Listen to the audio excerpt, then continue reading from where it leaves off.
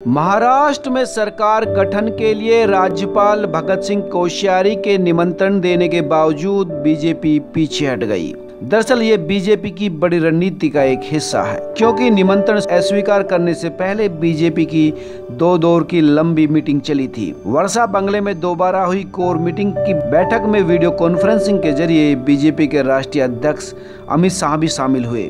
और राज्य के नेताओं से चर्चा की। इस तमाम मंथन के बाद बीजेपी ने निर्णय लिया कि वो राज्य में सरकार का गठन नहीं करेगी।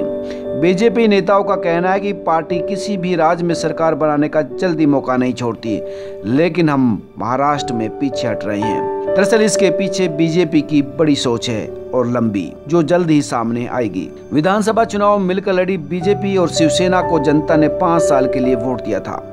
लेकिन चुनाव परिणाम आने के बाद शिवसेना ढाई ढाई साल के मुख्यमंत्री पद पर अड़ गई, जिस पर बीजेपी राज़ी नहीं हुई। निमंत्रण मिलने के बाद भी बीजेपी ने सरकार गठन का प्रस्ताव ठुकरा दिया और अब शिवसेना, एनसीपी और कांग्रेस के ज़रिए सरकार बनाने की कोशिश कर रही है। दरअसल बीजेपी की इस रणनीति के पीछे तीन कारण हैं। पहले तो ये कि बीजेपी शिवसेना पर महायुति तोड़ने का ठप्पा लगाएगी। यानी ये आरोप अब बीजेपी शिवसेना पर लगाएगी कि उसने ही गठबंधन को तोड़ा है। बीजेपी इस कलंक से बचना चाहती थी। अब पूरे राज्य में वो इसका प्रचार करेगी।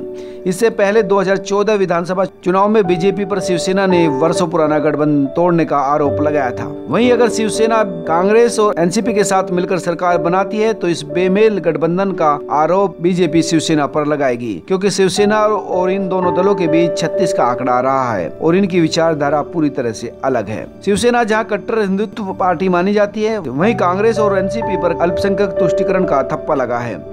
बीजेपी इसी बेमेल मुद्दों को आधार बनाएगी और इन दलों को घेरेगी। बीजेपी अनुच्छेद 370 को रद्द करने, तीन तलाक और देश में समान नागरिक संहिता जैसे मुद्दों पर शिवसेना से जवाब मांगेगी। दरअसल महाराष्ट्र में सरकार गठन न करने के पीछे बीजेपी का कर्नाटक से लिया गया सबक भी है। 2018 के विधानसभा चुनाव में बीजेपी सबसे बड़ी पार्टी बनी थी और वी एस येदुरप्पा ने सरकार का गठन भी किया था, लेकिन विधानसभा में वो बहुमत साबित नहीं कर सके। और इस्तीफा देना पड़ा। इसलिए बीजेपी नहीं चाहती थी कि महाराष्ट्र में भी दोबारा वही स्थिति दोहराई जाए। इसे देखते हुए बीजेपी ने सरकार न बनाने में ही बेहतरी समझी।